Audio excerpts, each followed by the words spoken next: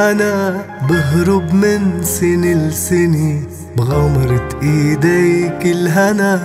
صاروا هني وطني بسافر من حالي أنا. بهرب من سنة لسنة غمرة إيديك الهنا. صاروا هني وطني وجوه الأحبة صاروا كلمة عوراق الرصيف تخبوا بالهوى وطاروا والدنيا مسا وخريف. وجوه الأحبة صاروا كلمة عوراق الرصيف. تخبوا بالهوى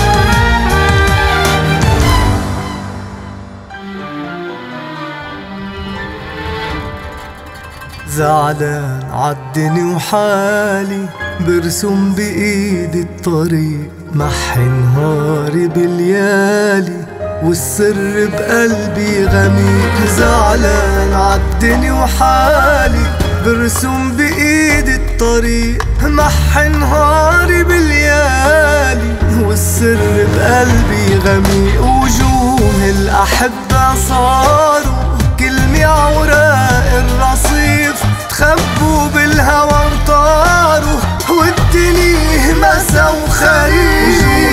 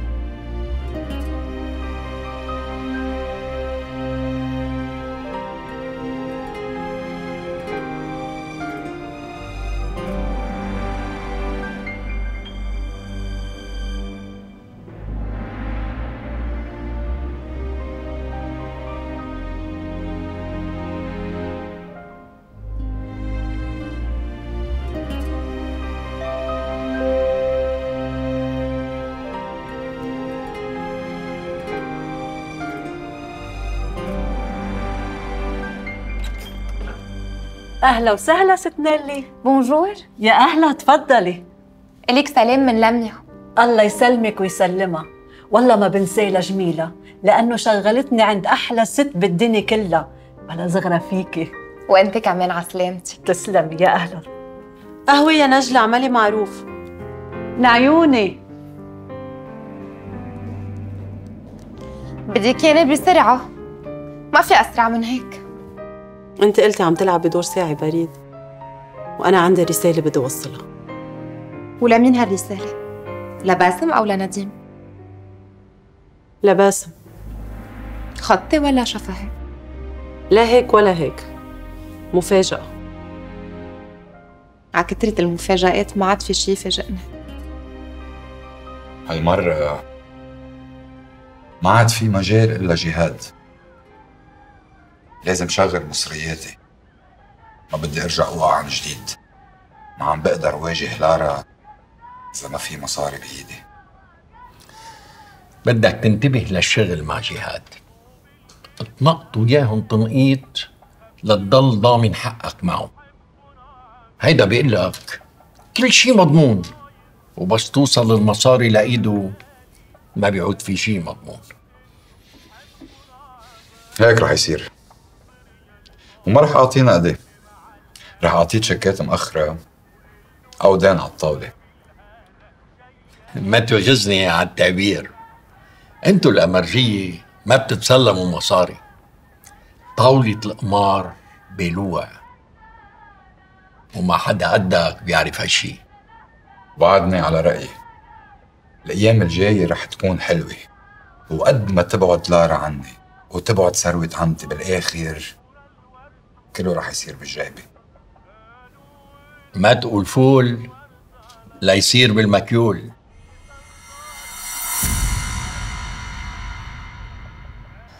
اللي عملتيه كتير مهم وبده قلب قوي. كيف اجتك هالفكرة؟ إذا أنا تفاجأت كيف صاحب العلاقة؟ مش هينة. مش هينة أبدا. إن شاء الله باسم يفهمها مثل ما هي. إن شاء الله يفهمها مثل ما أنا بدي. مثل ما أنا قصدتها. بدي يعرف إني عم رجع له السبب اللي تركني كرماله السبب يلي خليه يفضل مستقبله وشغله علي وهيدا أحسن رد مني على رسالته وشو المطلوب مني؟ أحمل المغلف وضل طالعة لعنده على الضيعة؟ لا المطلوب توصلي المغلف لنديم مثل ما باسم بعت لي المكتوب معه رح رد الجواب مع نفس الشخص طب وفي حال اللي ما بيتسمى سألك عنه شو بدك تقولي له؟ قبض حقهم. ما عاد له دخلي أنا شو رح أعمل فيهم. جهاد. طلع لعند هودي الجماعة وفي موعد بيناتنا عندي بالبيت. عم فكر. بركي نبيع المجوهرات لجهاد. هيك بنخلص من هالدليل وانت بتسترجع مصرياتك. ومنبعد عن وجع الرأس. ومنشيل هالحمل عن ظهرنا. ومنضل بعاد شو رأيك؟ إذا بسترجع مصرياتي وأنت بتضمن جهاد بيقدر يتصرف بدون ما يجيب سيرتنا كتير منيح بس بدون ضمانات بنكون عم نسلم حالنا تركني بالأول دس النبض. ما بدي أكشف شي قبل ما أعرف شو بده يعمل فيهم. ما فينا نخاطر بشي مش مضمون. لازم جهاد يعرف إنه هول المجوهرات مسروقين. حتى يجاوبك عليهم صح؟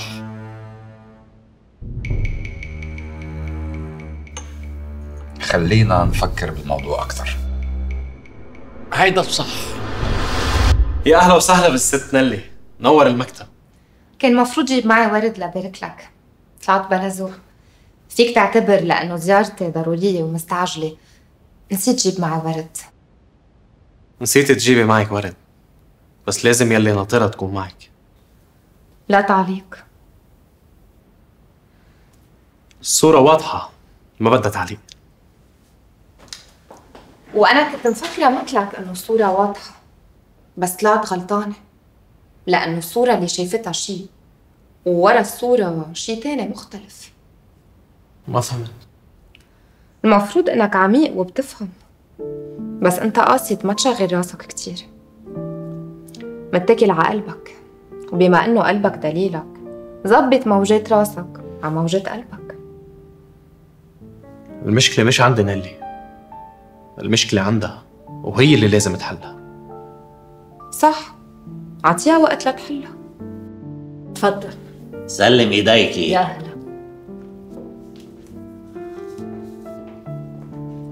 بيكون هن نفسه على الثروة الكبيرة. قضى حياته عايش على الأونطة والكذب والنصب والاحتيال. رخيص مثله مثل بيه بهيك مواقف ما بتذكر إلا المرحومة أمك. أرخص شي كان عندها المصاري. وأنت طالعة لها. بالنهاية بدي حقق يلي العدالة ما قدرت حققته. حتى ولو كان ما في ولا دليل يثبت إنه هو اللي قتل أمي. بنظري هو الدليل. مثل ما اشتريت منه براءة باسم يزبك رح أشتري منه اعترافه بقتل وردي خليل. بخاف هو عم يعترف بذنبه. يكون عم يرتكب ذنب معك. ذنب تاني بتكوني حطيتي نهاية لحياتك. وهو بمصرياتك بيرجع ببلش بداية جديدة. أنا مش خايفة لا منه ولا من النهاية. وحسابي رح صفيه معه. لو ضل بحياتي نهار. كل اللي بقدر أقول لك إياه رح نمشي أنا وياك ورا تابوت كمال داوود. مثل ما تقبل التعازي بالمرحومة أمي رح نتقبل التعازي فيه.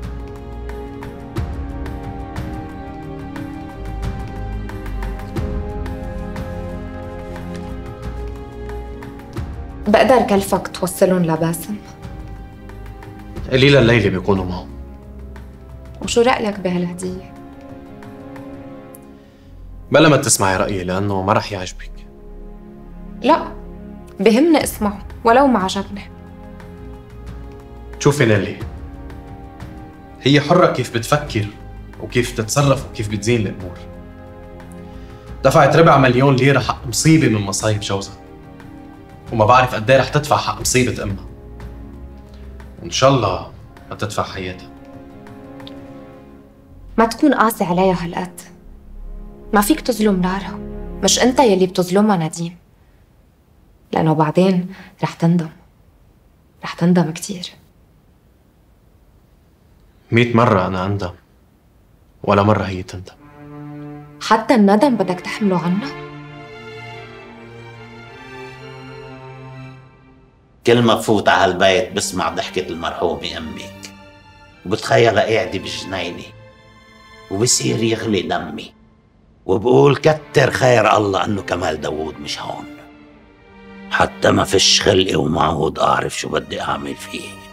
بالنسبة لإلي هو قاعد قدامي مش موجود. عم يدفع حق الزواج ذل واحتقار وإهمال. ما كنت عرفته هالقد بلا كرامة. ومستعد يضل ينهان وينزل وتضلك تحتقري ليوصل لمصرياتك كل همه يروحك ليورتك عم قول هالكلام أكتر من مرة لحتى تنتبهي. دم أمي بده يدفع حقه دم. لو بدي أدفع حق دمه كل ثروتي مش رح يكلفك هالقد. بده يوقع بشر أعماله وبده يموت كتير رخيص.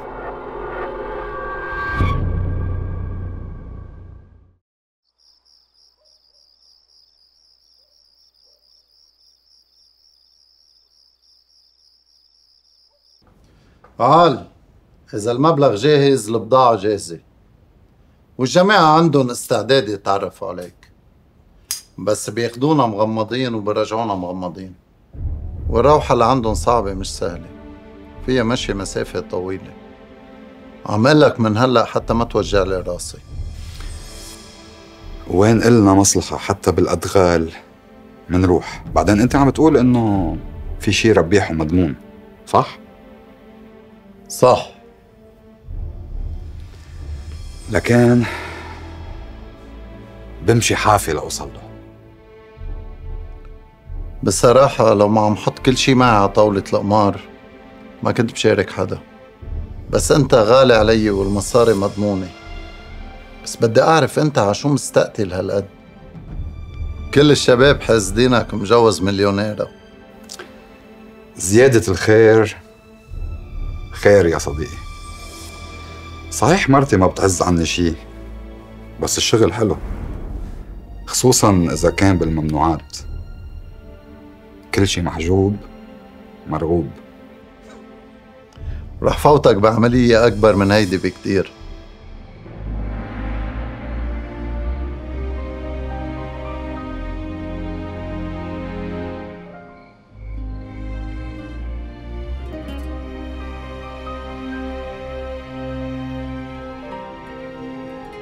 ما بعتت شي ورقة شي مكتوب شي كلمة اللي عارف ردها على رسالتي. ما في لزوم. الهدية بحد ذاتها بتقول إشياء كتيرة وكل يلي فهمته من نيلي انها اشترتهم من كمال ب 250 ألف ليرة لأنه بعده معتقد لا سمح الله إنك ميت. لو ما هيك ما كانت نازل عنهم بالهي 250 ألف ليرة مش هينين يا نديم. بس معك حق. لو كمال داوود عارف إنه ابني بعده طيب كان طلب مليون. هيدا بدل إنه هي ما خبرته شي. ومثل ما نحن خايفين على باسم هي كمان خايفة عليه. مش ذنبها تدفع حق غلطتي بده يجي نهار ورد لها مصرياتها على آخر قرش. قيمة يلي عملته لارا مش بالمصاري. قيمته بمعناه يا صديقي.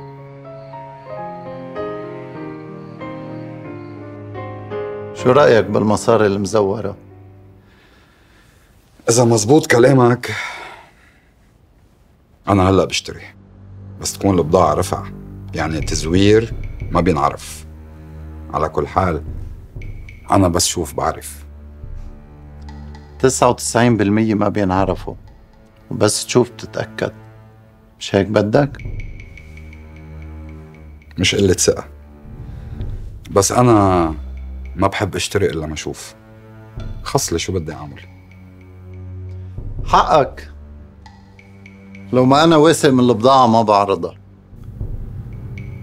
أمتى فينا نشوف؟ الليلة إذا بدك. لا. خليها لبكرة. نشوف عضو في حال صار ما صار وانكشف الموضوع كل واحد بيتحمل مسؤولية غلطه. ويلي بيجيب سيرة ليوقع التاني بتعرف شو بيكون مصيره. هيدا قانون الجماعة. ما عم بيطلع معها شي وصله للارا ما عاد في شي بحجم يلي عملته. سكتت لساني بس مش رح فيها تسكت قلبي. وما حدا بيعرف شو في بقلبها. هيدا إذا كان بعد في عندها قلب. عندها قلب وبعدك فيه لو ما هيك ما كانت عملت يلي عملته. عم بتريح ضميرها دفعت شوية مصاري عطل وضرر لواحد عاجز مثلي الحياة مستمرة يا صديقي لو باتجاه تاني. انتهى كل شي بيناتنا من زمان. من وقت ما شفتنا غير صالح لكون عن جديد فارس الأحلام بس تنتهي علاقة مثل علاقتكم. ما في خوف ترجع تبلش من مطرح ما انتهت لأنه يا صديقي فارس الأحلام فينا نتخيله مثل ما بدنا. وما بتلاقي الفروسية إلا إلك. بشوفك حكيم. بخاطرك. بخاطرك.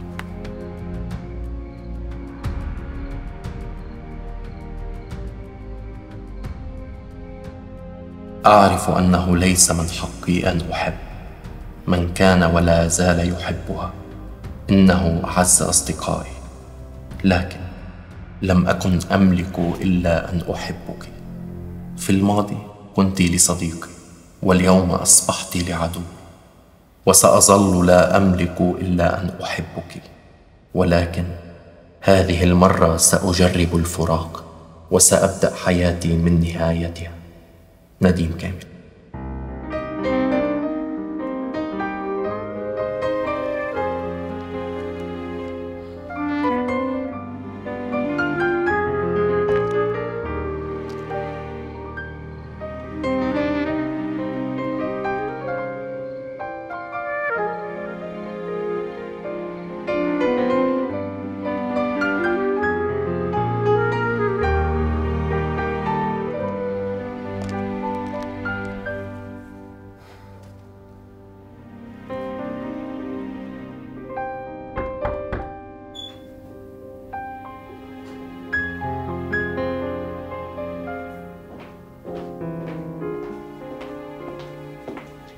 العشاء جاهز.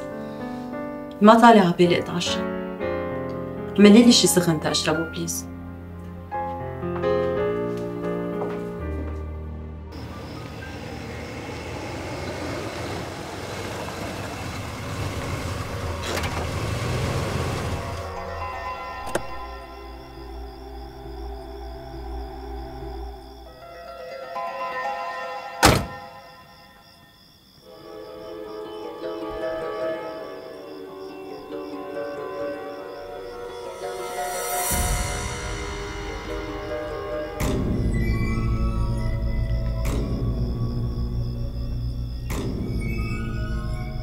الهيئة الليلة أخونا قاعد مبيت ونحن قاعدين طويلة قعدتنا لو كنا حاسبين إنه البيت بيتنا.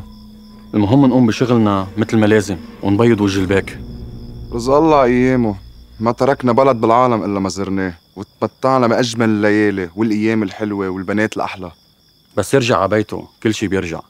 ادعي لربك يعجل بالرجعة.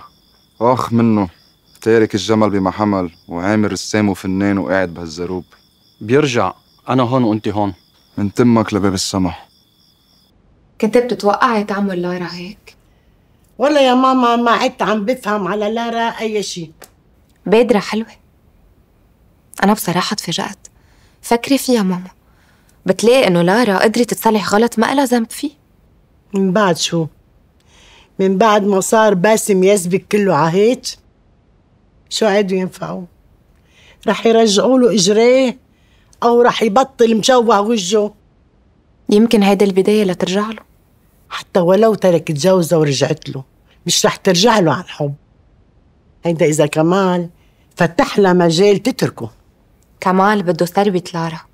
بدها تاخد منه طار امها باسم بده يرجع حب انتهى. وهي بتحب نديم. ونديم مش رح يكسر قلب صديقه. بالنهاية في ضحية. مين؟ ما حدا بيعرف. بالنهاية في أكتر من ضحية.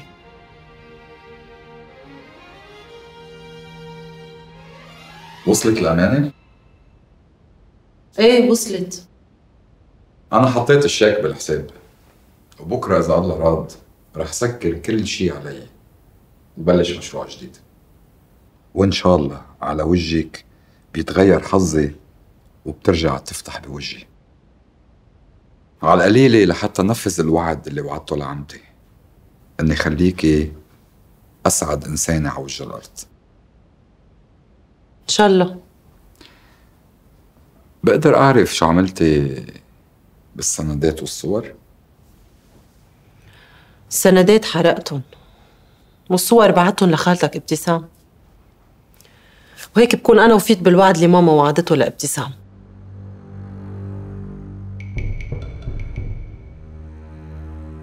يا ريتك حرقتيهم كلهم. لأنه ما عاد بدي شي يربطني بالماضي. ما أنت بالنسبة لابتسام صرت من الماضي؟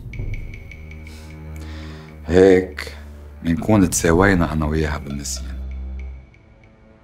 ما بعرف ليه بس بس شوفك برتاح. وأنا مش رح ارتاح قبل ما تصحي وتصيري منيحة على الآخر. مبسوط لأنه السمرة خبرتني إنه بلشتي تمشي. مشيت كم فشخة. بكرة رح أمشي أكتر. بس أصحك تطلب مني شي نهار. امشي من هون واتركك. باقي حدك لو صرت أركض مثل الغزال بس ترجع لك ذكرتيك. ساعتها أنت بتقرري يا بتبقي معنا أو بتاخدينا لعندك. ما هي انت حابة تفارقك يا سيف؟ ولا إنت حابب؟ ما يحرمني منكم أنت وياه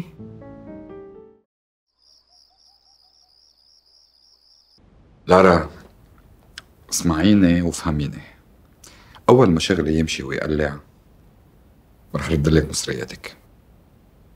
الصور والسندات يلي أعطيتك إياهم بتعتبريهم هدية. ولو إجت هالهدية مأخرة بس صدقيني لو المرحومة عمتي طلبتهم رح أرفض لها الطلب. أنا والمرحومة الماما ما بنحب الهدايا. وخصوصا الهدايا اللي ما لها تمن. بالنسبة لإلي كل شيء له تمن. حتى الهدايا يلي على شكل مصايب. بحب أدفع حقها. ولو كان غالي.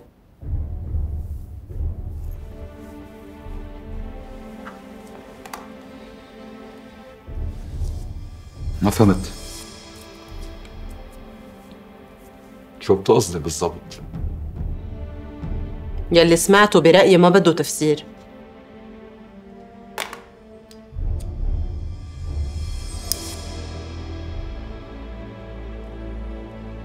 خديني على قد عقلاتي و... واشرحي لي وجهة نظرك.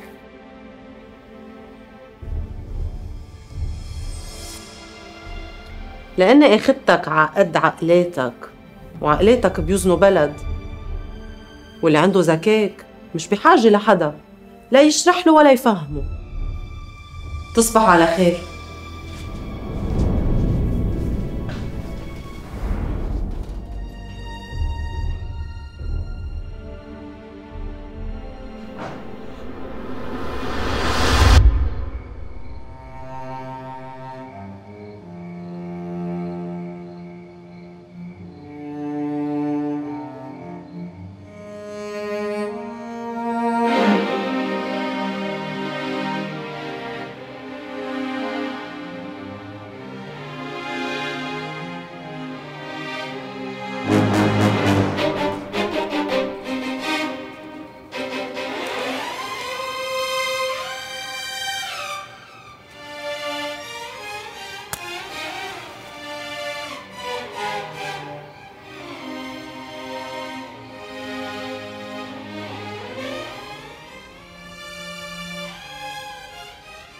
بعده بحب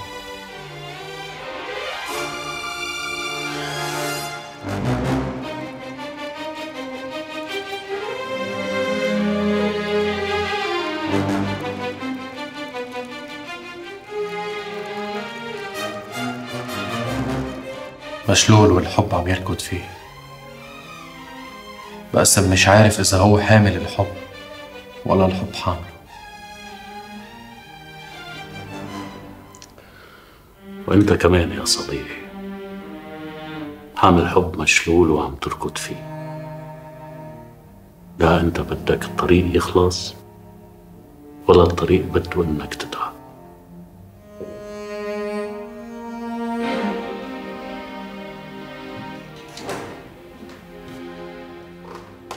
يمكن لأنه أنا ولارا خلقنا لحب بفرق وما بيجمع الحب مثل الموت يا صديقي. ما بتعرف أي ساعة بياخدك فينا ناخد قرار إنه نرفض الحياة. بس ما فينا ناخد قرار إنه نرفض الموت. وفينا نعيش نحن وميتين. أنا هلأ عايش هيك. وخايف كمل حياتي هيك. حول كل حياتي لشغل وكل مشاعري لمصاري. تقول هيك. طالما في نسيان طالما في ذاكرة بتساعد وبيجدي ما بدك تصيبني نعمة النسيان.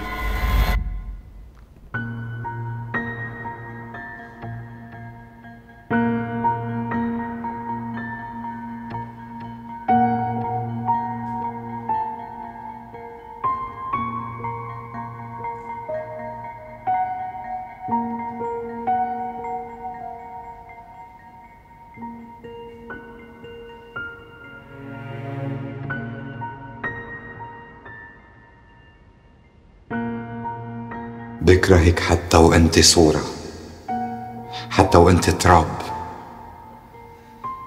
حقدي عليك قتلك. وخايف حبي الكبير لبنتك يقتلها.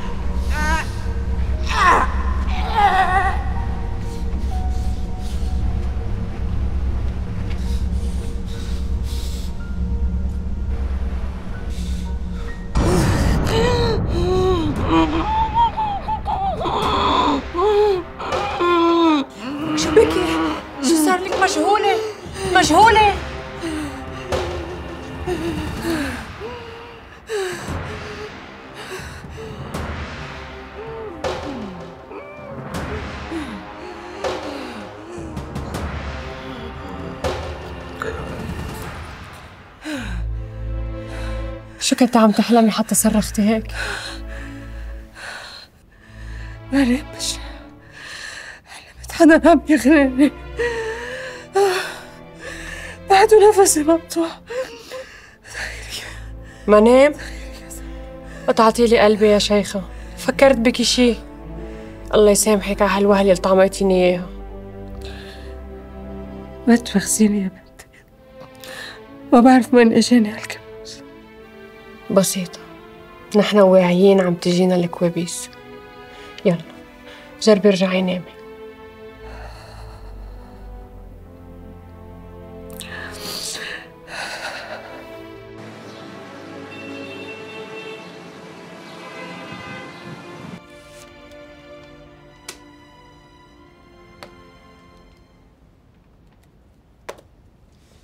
شو؟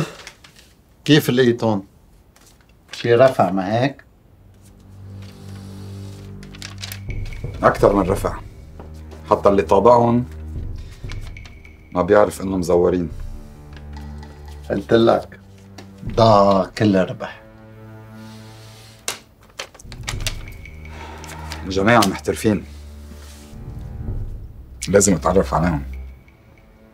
بدك تسمح لي فيها؟ هودي الجماعة خط أحمر. حتى أنا ما بعرفهم. بيشتري بالواسطة وما بيكشفوا عن حالهم. عارفين اللعبة وما بدهم وجع راس ما بيأثر أنا بدي آكل عنب. ما بدي أقتل الناطور. بالواسطة بالواسطة. من بعد ما يعرفوا قد إيه رح أشتري منهم. هن رح يطلبوا يتعرفوا علي. ما بتعرف. بس صعب يوثقوا بحدا. قد إيه المبلغ اللي معكم؟ مليون. اشتريت المليون ب 250 ألف. وأنا بعتك أكيد اتفاجأ وما كان بيعرف شو بده يجاوب. وحلا شو علقت على الموضوع؟ أكيد ما رح تفهموا مثل ما باسم فهم. حلا بعد مصيبة ابنها ما عاد في شي همها حلا ام مجروحة ما عاد في شي بيفرحها إلا تشوف ابنها رجع مثل ما كان. المهم عند لارا باسم توصل له الرسالة ويعرف قد إيه هي متأثرة وزعلانة على حالته وما يضل عتبان عليها ومعتبرها بلا إحساس. كان لازم قبل ما تتجوز تحل مشكلتها معه كأنها طرق ترجع له وتاخد موقف من كمال داوود مش تتجوزه. شو ما عملت رح تضل متهمة. ما رح تشوفوها ضحية رح تضل بنظركم متهمة. على كل حال هي عملت يلي عليها وكل واحد مسؤول عن أفعاله. وعن حياته.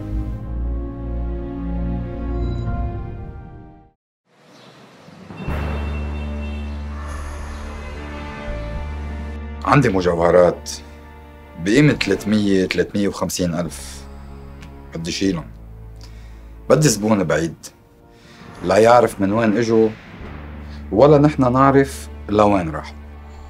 وانت رح تكون بالواجهة ما تقلي بدك تسرق صيغة مرتك وتبيعها. مش لهالدرجة يا زلمة ولو ما عم تقول عندك يعني لمين بدهم يكونوا؟ الحقيقة هن لشخص كأنه أنا. بس ما بعرف مصدرهم. وهالشخص بده يبيعهم برات البلد ما بده يبيعهم هون. يعني مسروقين؟ شو هالسؤال هيدا؟ أكيد. بس ما بعرف من وين. وما بعرف من مين. أنا ما عندي حدا برا. بس كان فينا نتصرفهم مع الشيخ سيف. ويسكي بمجوهرات. مين رح يعرف كيف وصلوا له؟ تركني أسأل الشخص وبرجع برد عليك خبر. بس الفكرة مش عاطلة أبدا. حاول تقنعه رح حاول. الشي الوحيد يلي فيك تقوليه للارا إنه باسم بعده بحبها ويمكن أكثر من الماضي. ما في شي رح يغير هالواقع ما فيك ترجع عقارب الساعة لورا. ما فيك ترجع باسم يسبك مثل ما كان. خلينا نكون صريحين بهالموضوع. شلل ووجه مشوه. ما بغيروا حب كبير. إذا العاطفة مش مشوهة بدك تسأل لارا عن العاطفة. يلي بيتجوز وحش مثل كمال داوود وبعيش معه تحت سقف واحد. شو ما كانت الدوافع والأسباب. بيقدر ولو بكلمة وحدة يعطي أمل. ويعيد الوفا لقلب ملاك مثل قلب باسم. ولا مش شايفة قدامي ملاك غيرك. بس كتير هالقد يا نديم كتير. حلو الواحد ينسى حاله ويضحي قدام أصحابه؟ بس مش هالقد. على كل حال خلص ما بدي أحكي. أنت بتعرف الباقي. أورفوار أورفوار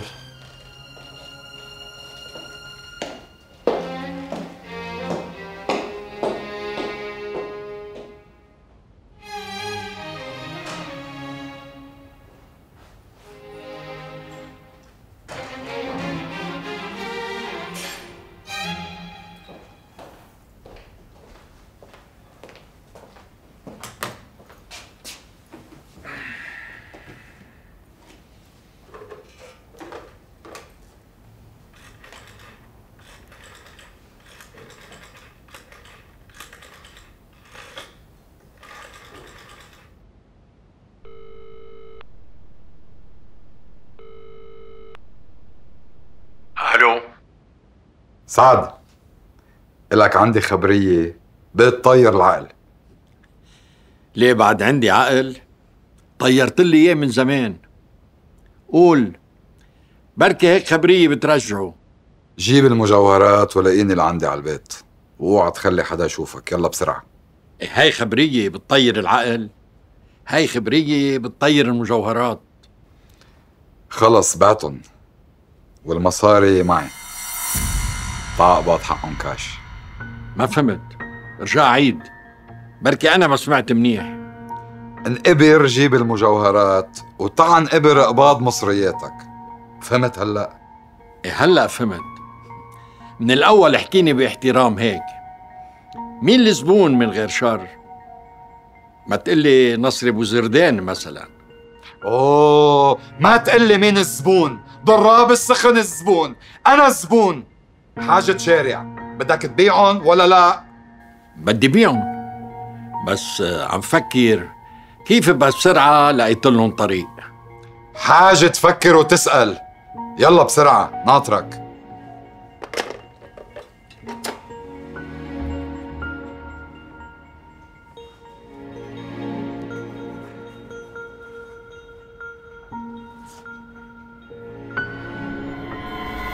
كنت قارع بالقصص عن أنواع من البشر العشاق معلقين بمبادئ وثوابت مثل الصداقة وسعادة الآخر وأفكار ومثل عليا. وقول بيني وبين حالي شو هالهبل؟ ووين بيروح خيال الكاتب؟ وقد إيه بعيد عن الواقع وعن حقيقة الناس؟ لحد ما عرفت نديم كامل على حقيقته. صرت صدق إنه في من هالأنواع. وباسم بيشبه نديم لحد كبير. ما حدا بيشبه نديم. غريب هالإنسان. زيادة كتير بالآدمية. إن كان معي أو مع الماما أو معك أو مع باسم. ولو ما عامل شي كتير كبير مع شوقي ما كان شوقي هالقد تعلق فيه. وواحد مثل باسم لما بيتعاطف مع مريضة عنده بيروح معها بالمسؤولية للآخر لحد إنه يدمر حياته ومهنته ومستقبله. ويدمر حب كان يعتبره أكبر حب بحياته. واحد مثله شو ممكن نسميه؟ الوجه الآخر لكمال داوود. كمال داوود. كمال داوود حامل كل وجوه الشر بوجه واحد.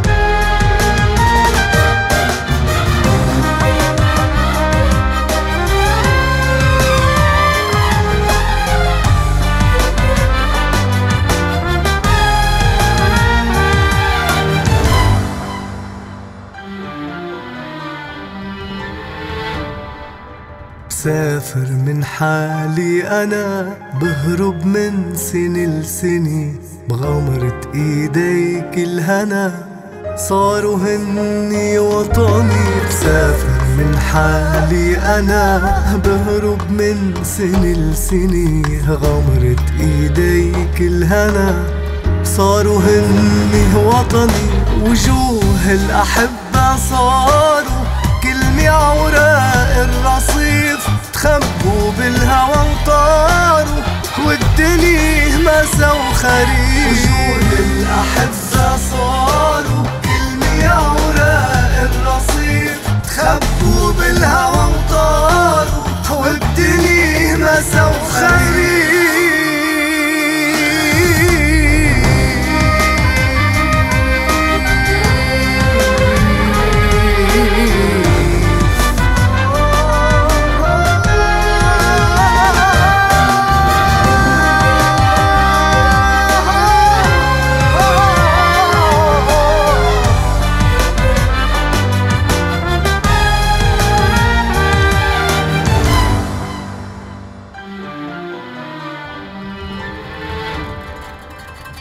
زعلان عالدني وحالي برسم بإيدي الطريق محي نهاري باليالي والسر بقلبي غميق. زعلان عالدني وحالي برسم بإيدي الطريق محي نهاري باليالي والسر بقلبي غميق. وجوه الأحبة صاروا كلمة عوراق الرصيف تخبوا بالهوى وطاروا والدنيا مسا